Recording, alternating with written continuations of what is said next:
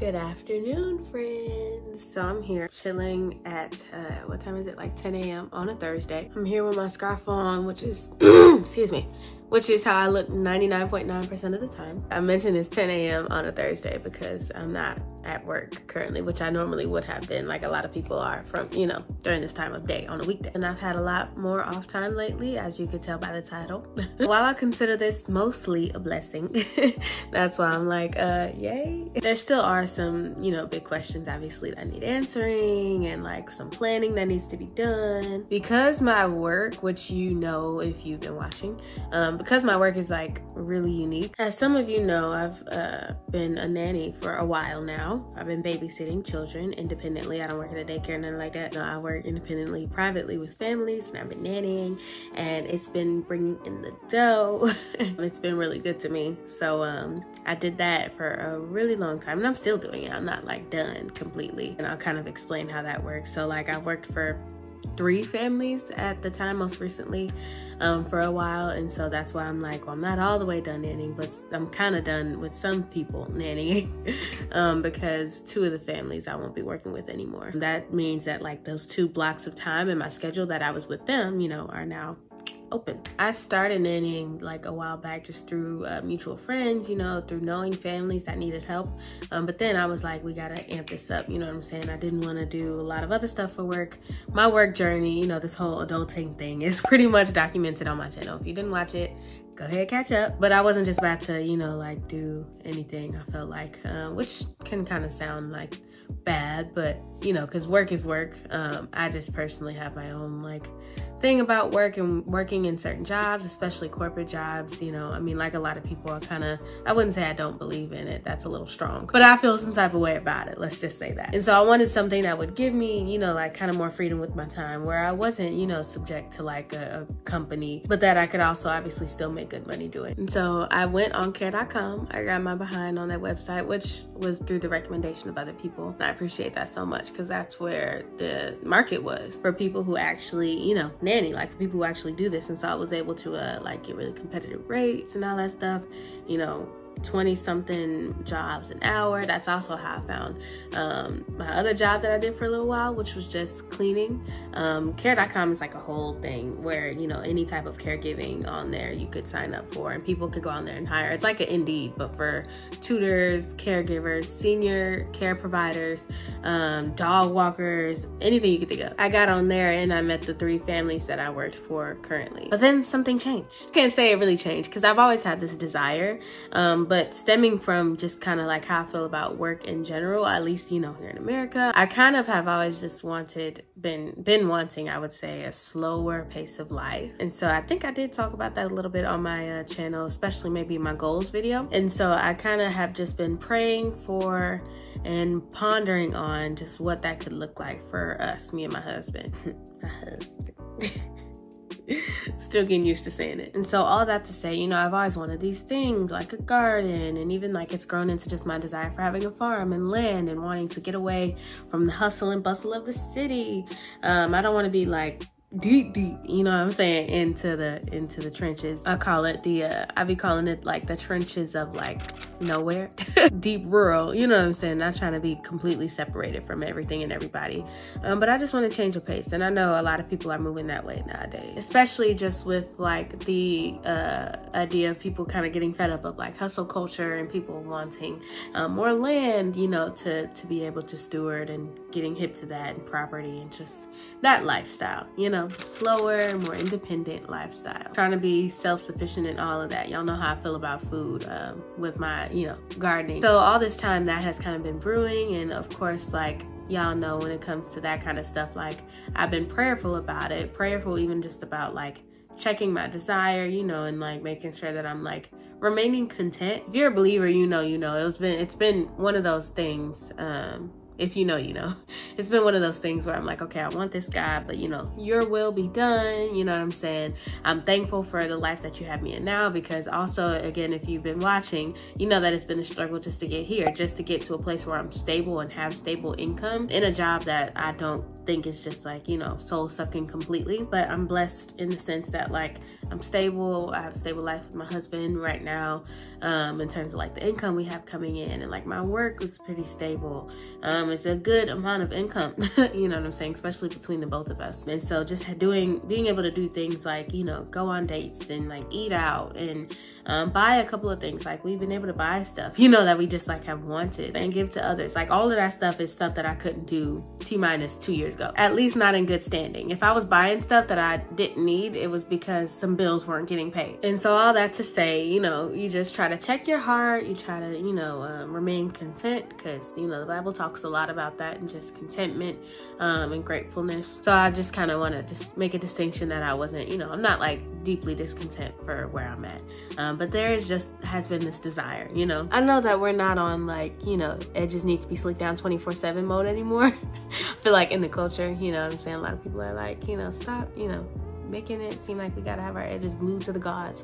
But I'm I'd be so self-conscious like about these lo and behold y'all of course my god my god um, he made a move in my job recently that would kind of allow me i felt like i don't know we're, we're still seeing would allow me to like move towards this path of like financial independence more and just you know freedom of time and just really freeing up the time to do more things like especially like things that are kingdom related like more ministry and fellowship and like even i consider gardening and tending the earth to be kingdom related. So i mentioned that i was working for three families. Are you following? Right now i'm only kind of working for one. I was at one of my family's houses um, you know one this one day um, and this particular family i was with on mondays and fridays so I'm there. It's just, you know, working like normal. I'm still in my normal three family work week, right? But then they sit me down and basically they kind of just tell me out the blue um, that, which this isn't like in a negative light. Like they, it was like the best possible kind of like exit. I feel like they were really kind about it, gracious, all that good stuff. But just for the purposes of kind of explaining how like kind of random it was and why I feel like God kind of, you know, his timing seemed very purposeful. You know, it went along with like where my heart was at the moment. They sat me down and basically told me that some stuff was changing for them, right? Um, obviously, like depending on their needs, that's going to determine how much they need me, the, the need that they have for a caregiver. And so basically, like the mom changes, uh, was having changes in her work, right? And uh, basically, they didn't need me anymore. Long story short, to cut all the blabber. And so, of course, like I said, it was very kind, very sweet the way that they told me. Um, and they gave me like good amount of notice, you know what I'm saying, all that good stuff. So it was done well, for one. That's part of what made it like a positive kind of like losing my job exit. The deeper meaning to kind of like how that impacted me, of course, which was that like that timing made it seem like I had been praying like actively at this time and I hadn't done, been doing that for a long time. Maybe I had been actually praying about this desire, like, you know, kind of just throwing it in my prayers, like, you know, Lord, you know, of course, your will be done. I just, I'm just been kind of thinking about all the things that we could do if we had time, um, the things that we could do in your name, and just, you know, how different I feel like we could live, and how even more so in line with the way you created us to live, if you know we are provided for, and if we can stop working in the capacity, in the capacity that we are now. I've been praying that maybe for a few weeks. I don't know the exact number, but for not very long. But so I've been praying, right? And then this happens. And it was kind of just like, huh, interesting, you know, because it was completely out the blue. I mean, I couldn't have foresaw that work was going to change for me anytime soon. But it was like when I started praying for this, it seems like, okay, of course, you know, again, my spiritual ears perked up. I'm like, maybe I'm not like harping on it too much, you know, because we don't know God's will. I don't want to get my hopes up. Um, but this could be God trying to move me and us kind of in a different direction. And so that was one job that I no longer work at right now. And that freed up a bunch of time, honestly. That was like, if I could choose out of my jobs which one to that I, you know, would stop working at, it would probably be that one. Cause like I said, I worked that job Mondays and Fridays, and that's, you know, those are the days that connect to the weekend. So it kind of just gives me an extended period of like uninterrupted time where I, you know, don't have to work. And obviously I'm gonna fill that up with other stuff. But yeah, the other job, I will say that was all me. and so hopefully this ain't one of the moments where the Lord is like, I ain't tell you to do that. But, you know, I mean, I think I'm doing it with like safe measures in place, safe-ish. The other job, I kind of just told the family that um that I kind of was like looking to do other things with my time. Um, and I will say honestly that like with that job, with all my nannying jobs in general, there has been a level of like kind of like frustration and kind of just tiredness that comes with the job. I think And so part of it is me wanting something different, but I also can't say that I was completely happy nannying, just to keep it a bug, especially for those who would actually be interested. I mean, you're working with other people's children. You know, that's gonna come with some frustration for the most part, usually. Um, because other people don't parent, you know, a lot of times the way that you would want it, you know, and that's not something that I expect, but it can be frustrating. So with this particular family, I will say there was some frustration there on top of like with frustration with the work environment on top of me just wanting a change in my own personal life. Um, and so I ended it with them. With them, I'm kind of in the process of ending it. So I'm they're actually out of town right now, but I'm gonna have my last couple weeks with them soon, like April, May-ish.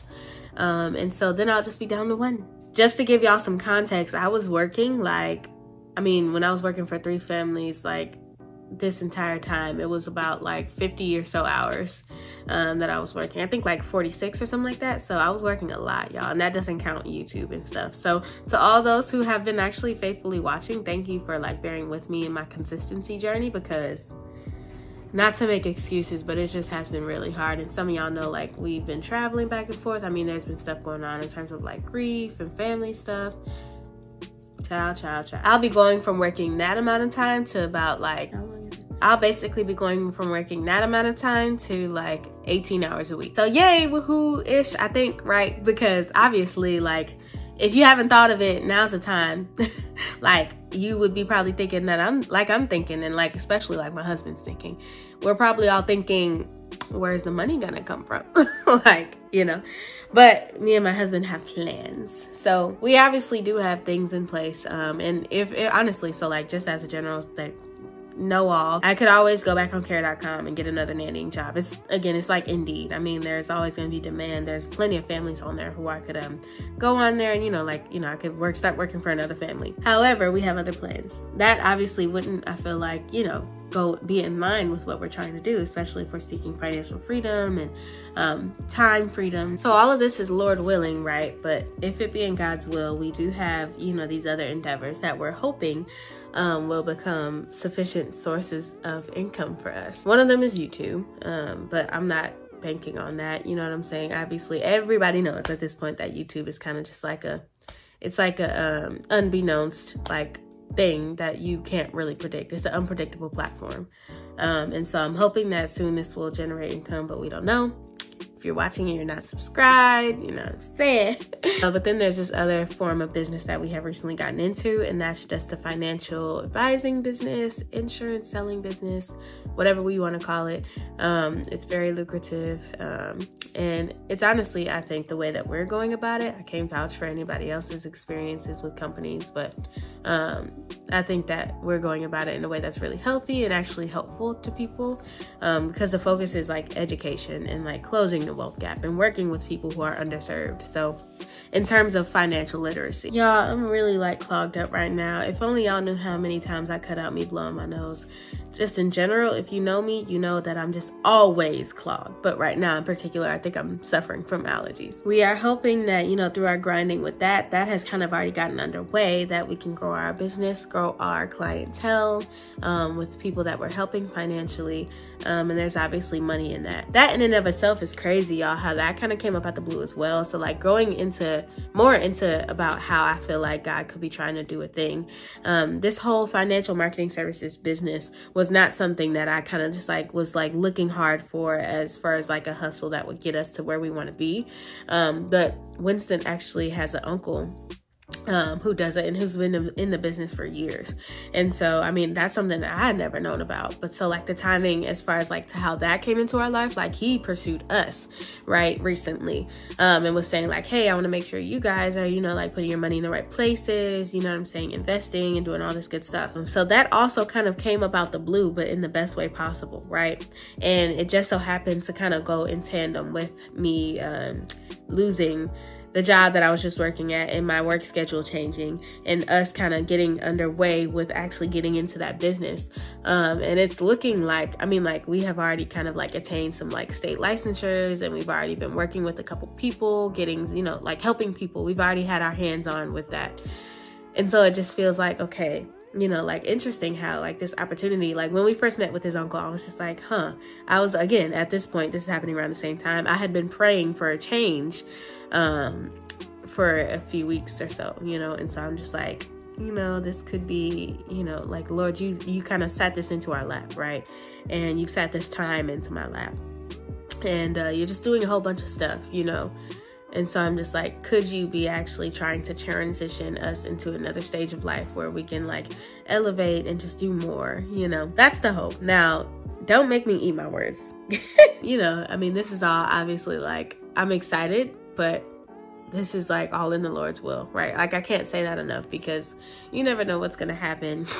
and me personally, I've struggled in the past with like wanting things and like still trusting God, even though not even just still trusting God, not just when I don't get what I want, but when things aren't going well. And so I low key am saying that also more for me than for y'all because it's hard to get your hopes up and to think that something is going to do well for you, especially when you think it could be from God and it doesn't. And that just keeping it real about, you know, this walk, you know I'm saying? That happens.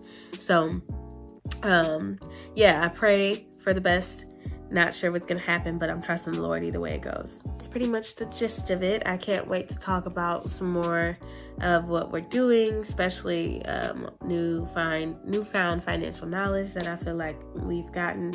Um, I would love to share a lot of that with y'all because there's just so much, and everybody does that nowadays. I know gets on social media and just kind of feels like they're a guru. Um, but I don't intend to do that. I do want to share actual knowledge that is, you know, tried and true, and that has unfortunately been like kept from I feel like our communities, lower income communities, the black community, middle income Americans, like anybody who's not the wealthy. but that's a conversation for another day. That's pretty much what I wanted to update you guys on. Um, other than that, what else is new? I'm sick. Thank you guys um, for watching. I can't wait to share more about this journey that we're on in regards to just, you know, what we're doing and how we're helping people and what's going on in our life, all the exciting changes, yada, yada, yada. Subscribe if you haven't at this point in the video. Thank y'all for watching. I'll see y'all next week. Bye.